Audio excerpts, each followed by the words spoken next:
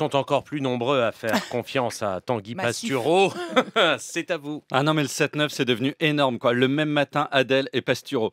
Alors moi, tout le monde me connaît, euh, petit migrant breton, arrivé à Paris par le TGV 53-17 de Quimper avec 16h30 de retard.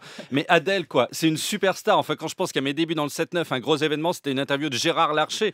Enfin, toutes ces années, Léa, où vous avez fait semblant, événement. vous avez fait semblant de vous intéresser en faisant hum, hum, hum, hein, toutes les 30 secondes, tandis que Ségolène Royal venait parler de son sujet de prédilection elle-même.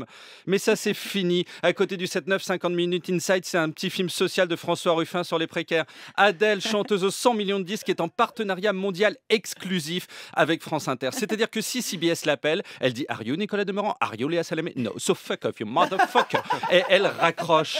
Depuis 2008, j'ai lu ça sur notre site, France Inter la suit. Ce qui pour Elisabeth Lévy serait un cauchemar, mais pas pour Adèle. Et la fidélité paye. C'est devenu une star, mais elle reste avec nous with us. C'est-à-dire que si Radio Pomme, la station du Calvados, l'avait bloquée en exclu quand elle avait 13 ans, ce matin, elle serait comme une conne à Bayeux, à se geler le huc devant le musée de la tapisserie. Et bah, c'est vrai, c'est de la fidélité. Voilà, alors je continue la lecture du site. Son nouvel album est une vraie thérapie pour la chanteuse. Mais VDR, quoi, vie de rêve. Euh, nous, on va pas bien, on va voir un psy qui prend 60 balles pour nous faire dire que notre mère était nulle. Elle, sa thérapie, c'est sortir un album, elle reçoit du blé. Mais ce n'est pas pour autant qu'elle va mieux. Adèle reste dans le doute. Elle explique qu'elle a passé 6 ans à réfléchir. Alors attention, pour ça, il faut être une star. Si moi je vais voir Laurence Bloch, directrice de la station, et que je dis bonjour madame, le remplacement de Charline à la Toussaint m'a épuisé, puis-je revenir en 2027 Elle va me lancer par la fenêtre de son bureau. Et il est au sixième. Hein, la règle ici, c'est de se disputer uniquement avec des gens qui travaillent au rez-de-chaussée.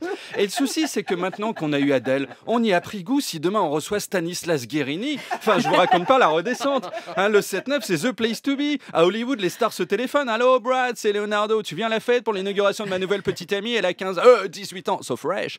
L'autre répond Non, je peux pas, man. Je suis dans le 7-9 avec Léa Salamé in Paris. Mais fini la politique. Après Adèle, on peut pas revenir à Michel Barnier. Enfin, c'est comme si après des pâtes aux truffes, on vous apportait des choux de Bruxelles crus. Donc, on a changé l'équipe de prog. À la place, on a pris des gens du show de Jimmy Fallon.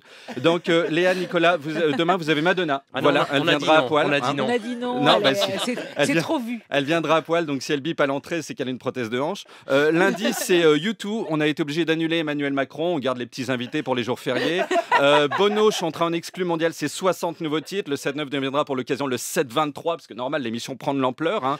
Euh, du coup, il a fallu décaler Jay-Z et Beyoncé euh, à mardi. hein. Ils sont furieux puisqu'ils arrivaient à Paris dimanche et les budgets à Radio France sont restés les mêmes. Donc, ils sont logés au Formule 1 de la Porte de Vent. Enfin, ah, ah, mais, mais, mais qu'est-ce qu'il y a sous le bureau? Oh, Joe Biden Mais il faut pas rester là, monsieur, on peut pas vous prendre. We can't take you, we are full. Mais sortez-le, parce qu'avec ses nouvelles dents, il va ronger les pieds du bureau. Mais je l'aurais bien mis mercredi, mais qu'est-ce qu'ils vont dire, les Rolling Stones? Ah là là, je suis fatigué, moi, sautez Alors, juste un truc, j'ai lu dans une interview qu'Adèle disait cet album est de l'autodestruction, puis de l'autoréflexion et de l'autorédemption. Alors, ça, ça fait trop d'auto. Je veux dire, à Paris, euh, c'est pas possible. Si Anne Hidalgo était venue, elle nous l'aurait dit, mais c'était le même jour que Nadal, euh, Rihanna et Jeff Bezos. Donc, on a été obligé de l'annuler. Tanguy Et Pastureau. le pape. Et le Ouais, pape. et le Voilà. pape. Allez.